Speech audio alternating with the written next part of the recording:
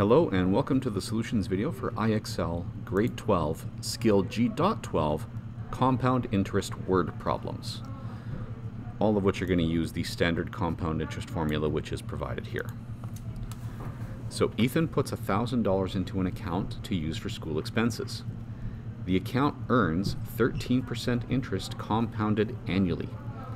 How much will be in the account after four years? So if you use this formula, so let's break it down. So the amount is the principal times 1 plus the interest rate over the number of compound periods per year, exponent number of compound periods per year times the number of years. So Ethan has set aside $1,000. The interest rate is 0.13 and it's compounded annually. So that's one period per year and four years. So this simplifies to 1,000 times 1.13 exponent 4.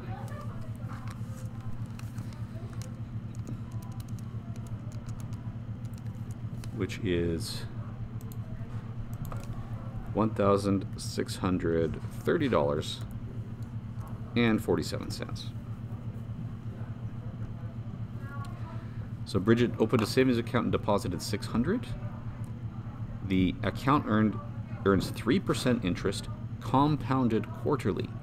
So the R is 0.03 and N is 4. She wants to buy a new bicycle in two years.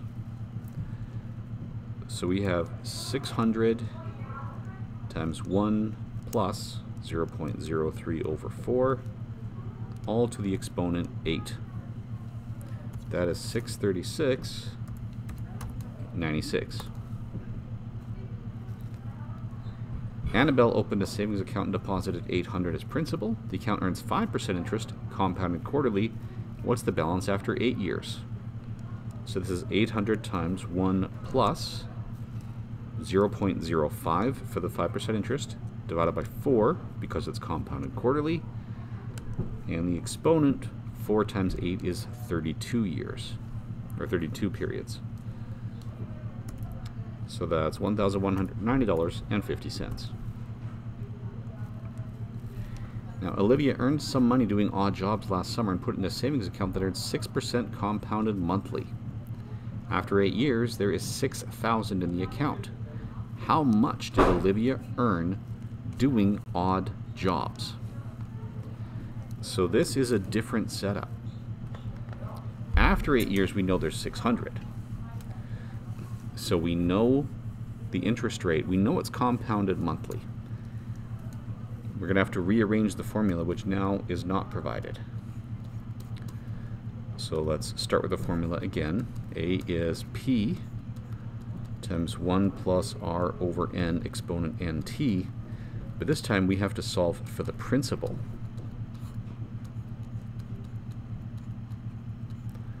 And if we do our substitution in the last possible step, we can reuse this algebraic result in future questions.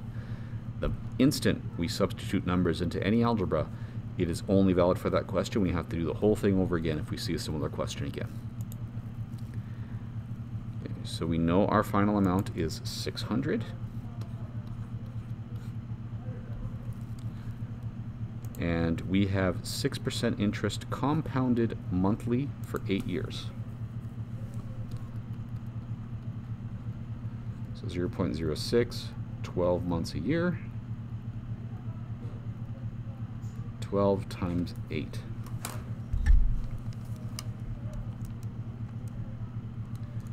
So 1 plus 0.06 over 12. And our exponent, 12 times 8, is 96. So she started with roughly $371.71. Bridget opened a savings account four years ago. The account earns 5% interest compounded annually, and the current balance is 400. So here's the advantage. In this case, we can go straight to this version of the formula. So in this case, the amount she has is 400. And that's 5% compounded annually. And it's been four years. So 4 times 1 is 4.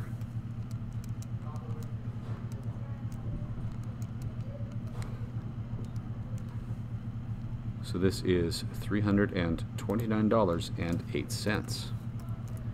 And one of these days I have to find one of the banks that show up in these word problems that don't charge any other service fees of any kind.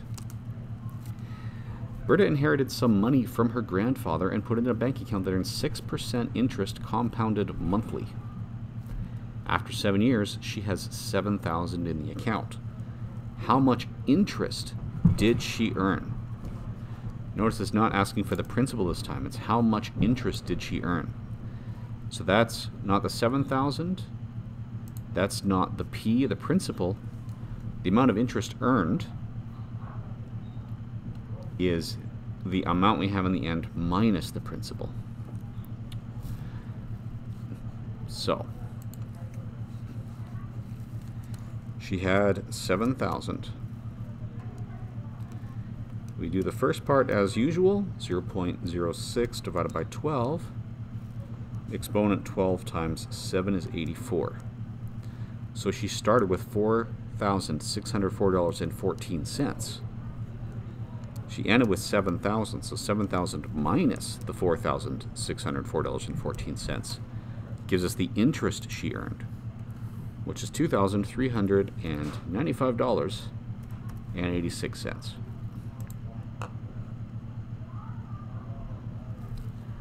So Bernice opened a savings account and deposited 200 as principal. The account earns 4% compounded annually. How much interest will she earn after 10 years? So this is another amount minus principal question. So we're going to have 200 times 1 uh, 0.04, I guess, to the 10 and we'll subtract 200 from that result, she'll earn $96.05. So Adam deposited $318 in a new account that earns 10% interest compounded monthly. How long will it take for the balance to grow to $509? So here we're actually asked for the time elapsed. That's going to be different algebra again. So again, we have our amount is principal times 1 plus r over n to the nt. So we'll divide both sides by the principal.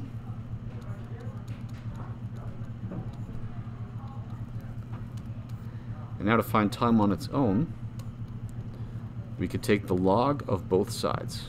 And if we use the common log with that base 10, or we might as well because we don't have any clean logs inside these. So there we go. So the total amount of time is the log of the amount over principal divided by n times the log of 1 plus r over n.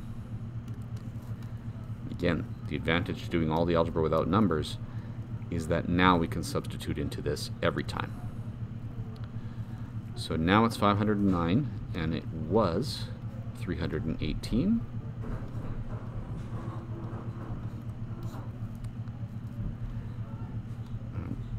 We know it's compounded monthly. So here we have there the log of 1 plus, and it's 10% over 12. We don't know the number of months.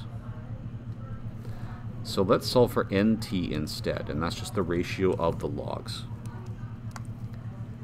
So that's 509 over 318 divided by uh, the log of 1 plus 0.1 over 12. So that gives 56.68246. So there have been roughly 57 monthly interest calculations. At 12 months in a year, that is four years, nine months. So four and nine. Kang wants to start a business. Perhaps he wants to invade our dimension coming from Dimension X. Oh, what am I saying? That was Krang. Kang would be more about time travel. Anyway, Kang wants to start a business which he estimates will cost $9,674. If Kang puts $6,596 into a savings account which earns 6% interest compounded quarterly, how long will it be until he has enough money to start the or to start the business? And here we go. We can reuse our algebra.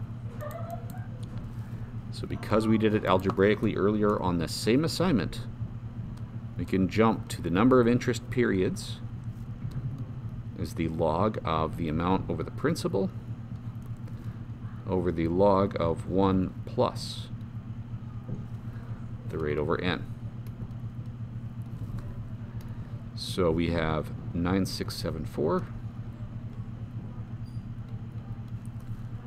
over 569 or 6596, sorry.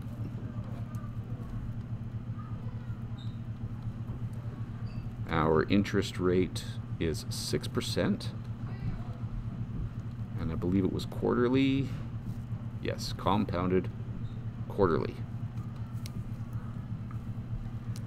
So log 9674 over 5696 divided by log 1 plus 0.06 over 4. 25.7229125 or 26 quarters. Sorry. And actually we are asked for years and months, so we don't want to risk going we don't want to risk rounding yet. So, we know we have 25 quarters to begin with. So that is four years, or no, sorry, six years and three months.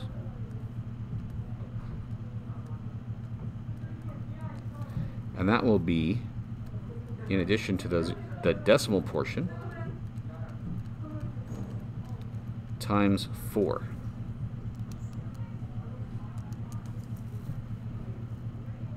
So this piece is about 2.89. So this is 6 years, 3 months, plus 2.89 months, or 6 years, 6 months after rounding.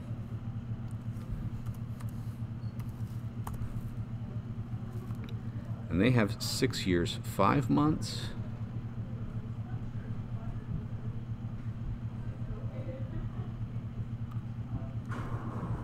Okay, so they had different rounding, even though we left our numbers as unrounded.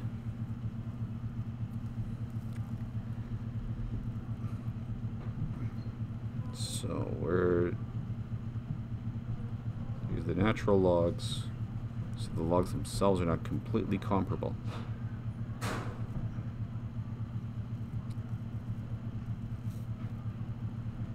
So if we have, so we have their two logs. Okay, and they divided by 4. We take our 25.72291205 and divide that by 4 right away. Then yes, we get the same 6.43. Except out here, instead of 2926, we get 28013 because we use the common log instead of the natural log. So that will be the, the difference in the way we round the months.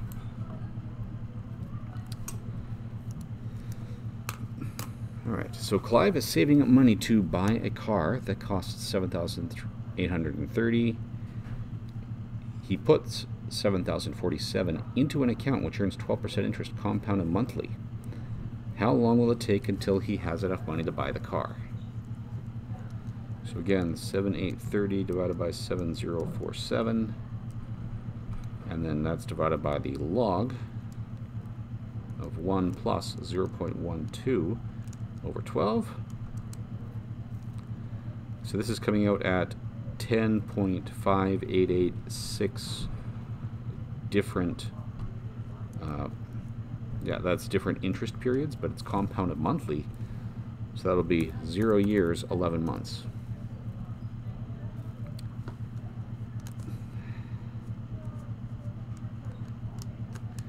All right. So we need to figure out how long Sadie's money was in the account.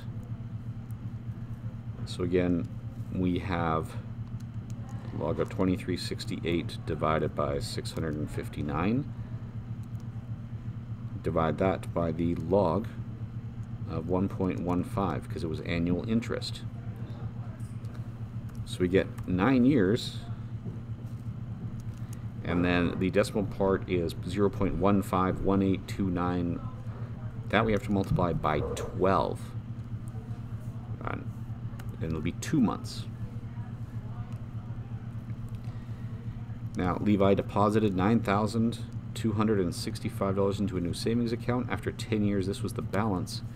Now we need to find the interest rate.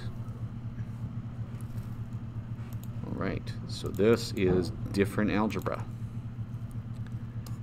We have A equals P times 1 plus R over N times NT. We have to solve for R. So, a over p is 1 plus r over n exponent nt. We take the nth root of both sides,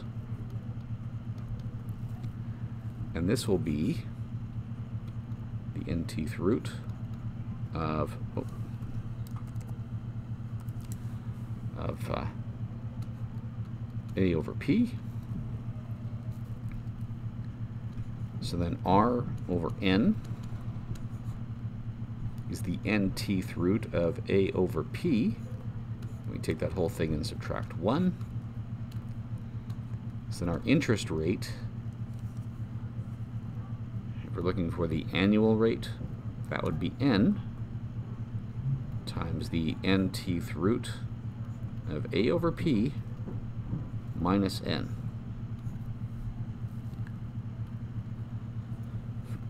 So now the interest is compounded quarterly and it's been 10 years. So with the full substitution, we've got 4 times, and it's going to be the 40th root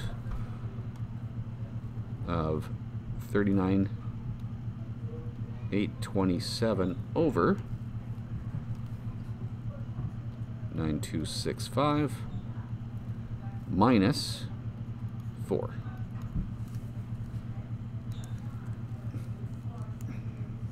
So we'll take the 40th root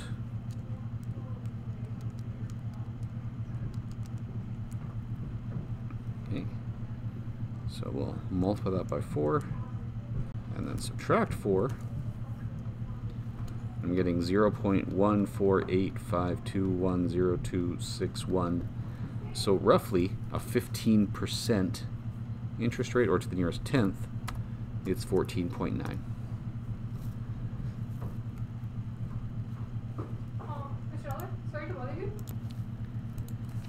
so Scarlett earns $1,050 from a summer job and put it in a savings account that earns 2.6% interest compounded monthly. When Scarlett started university, she had $1,132 in the account that she used to pay for tuition how long was the money in the account? So we are back to solving, at least for NT, or the number of interest periods. So we're back to this equation. The log A over P divided by log of 1 plus R over N. So the log of 1132 over 1050 divided by the log of 1 plus our uh, 2.67% interest rate compounded monthly. That works out to 33.833. So that's 34 months, which is two years, and 10 months.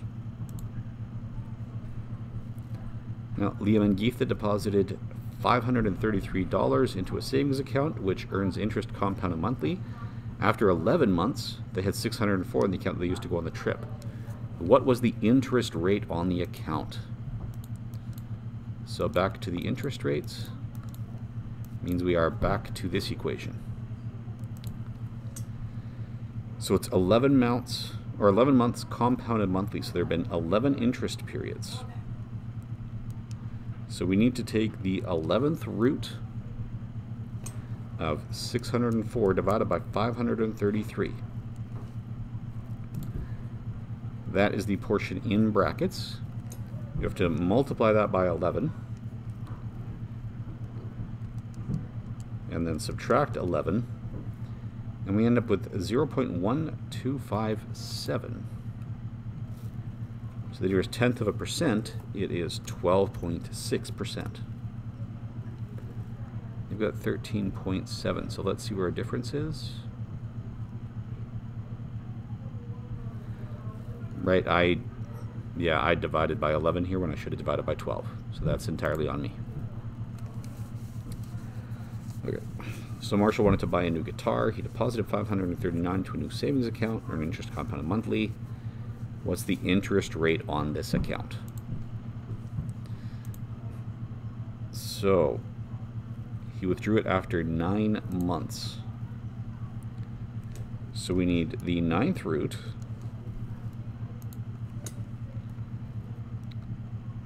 of the 586 over 539. Now this gets multiplied by the 12 months and we subtract 12. So you have the 0 0.11199, or in this case, to the nearest tenth, 11.2%. So Malik wanted to buy a new motorcycle and put this into an account. So again, it's another interest rate, and there's eight periods. So we take the eighth root of 2484 divided by 2224.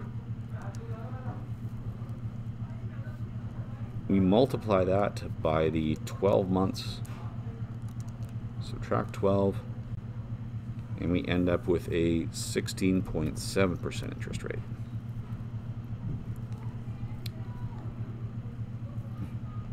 All right, so now we are back to our period. So that's the log of 4974 divided by 4705 divided by the log of 1 plus 0.052 divided by 4. So there have been 4.3045527 interest accruing periods. So that whole number 4, when it's quarterly, is one year. So the 0.30455, that decimal portion, we have to multiply it by 12, and it rounds to four months. We get one year and one month.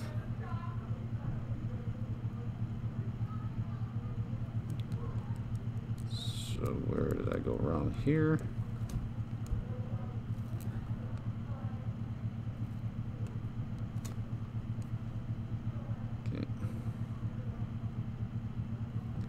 So it's the same thing. They're using the natural log instead of the common log here. And it rounds just a little bit differently.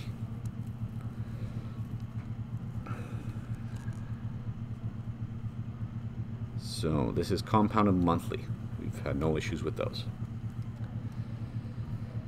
So log 8462 divided by 7880 divide that by the log of 1 plus 0 0.1339 over 12. All right, and there have been 6.42 periods. So he is going to have to wait zero years and six months is the nearest. It's actually like a 6.42, so it's going to be more like seven months.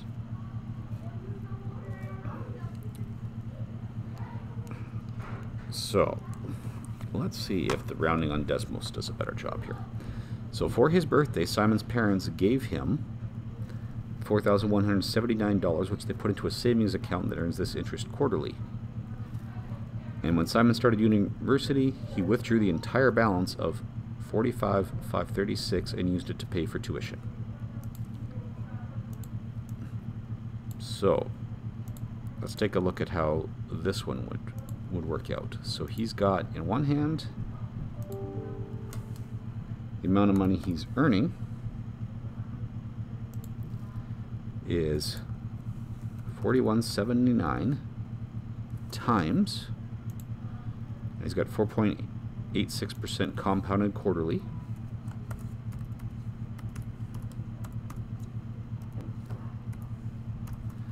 and this is to 4t so the number of years we're going to have to dramatically change our y-axis before that's going to show up. So let's make that 6,000. Now we have a curve.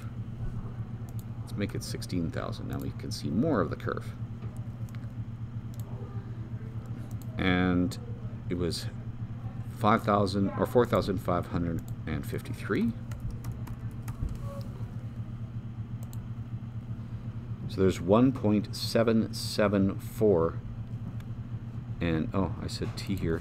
I guess it's interpreting t instead of x but yes. So 1.774 years. So that's one year. And then the 0.774 years rounds to nine months.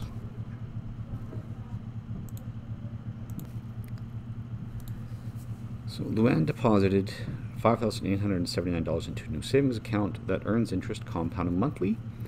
After eight months, the balance on the account was 6,492. What was the interest rate on the account? These are ones where we often have those rounding errors. So let's see if we can avoid those. We'll do it again this way. So we have 6492 here we're starting with 5879 was it? Yeah, and it's compounded monthly.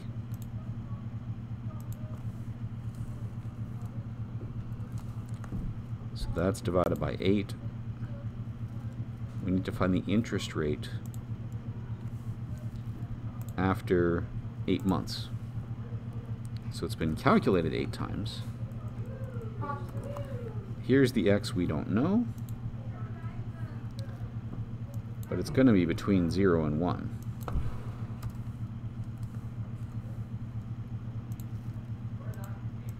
There we go, 0 0.1497. So this should be 15.0. David, a real estate agent, earns a big commission for selling a house.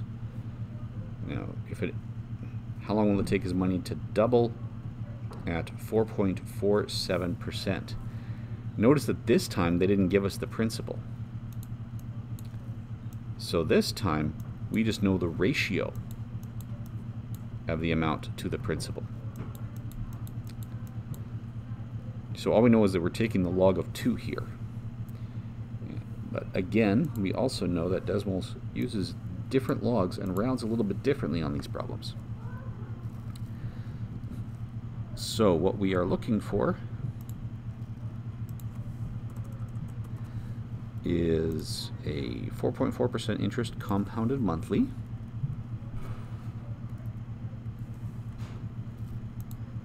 Oh, 4.47.